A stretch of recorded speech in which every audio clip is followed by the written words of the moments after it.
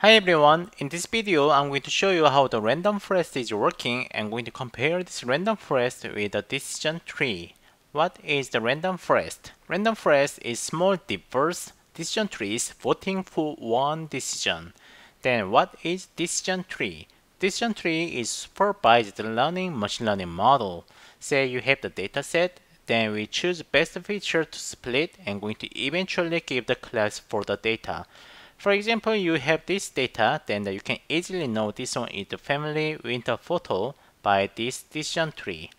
And if you want to know how the decision tree is working, then I highly suggest you to watch my previous video for the decision tree here and this one. So I'm going to go over the random forest again here. So this is the easy comparison of the decision tree and the random forest. Decision tree is one giant big tree Random forest having multiple small trees in different shapes like this. And I'm going to use the apple and orange classifier here. And there are some keywords for the random forest. First keyword to remember is boosting. Boosting is biased data collection. For example, in the decision tree, if we have the 8 data like this, then the decision tree is using this 8 data set as a whole as train. But in the random forest, since you have multiple small trees, you need to uh, split this dataset into multiple small trees here. And I'm giving three data for each small trees like this, but you can see there are duplicates, duplicates, duplicates in the subset of the data. Because I use the boosting here, boosting allows to have the duplicates and it eventually gives bias on the model. And uh, you know the decision tree is very easily get overfitted. It's very popular issue of the decision tree. Say your decision tree is overfitted like this, then by having the boosting, we are giving more bias like this. So your random forest can be a solution if your decision tree is already overfitted. The second keyword of the random forest is random selection of the feature set.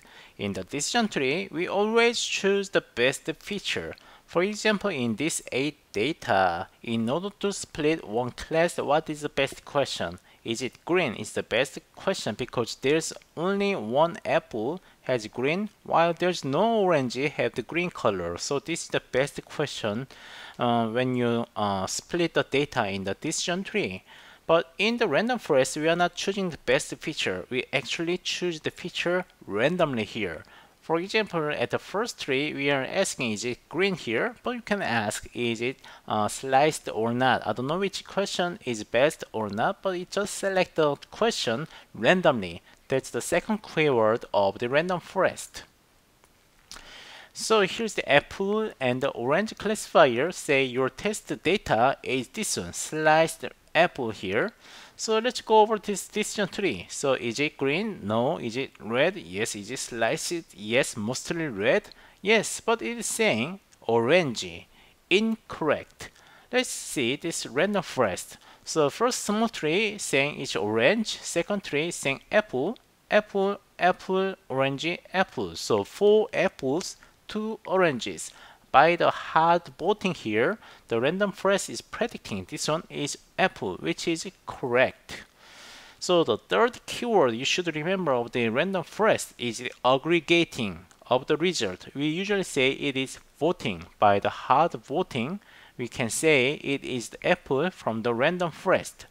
And uh, with this aggregating, with the boosting, boosting and aggregating, the short term for this one is the bagging.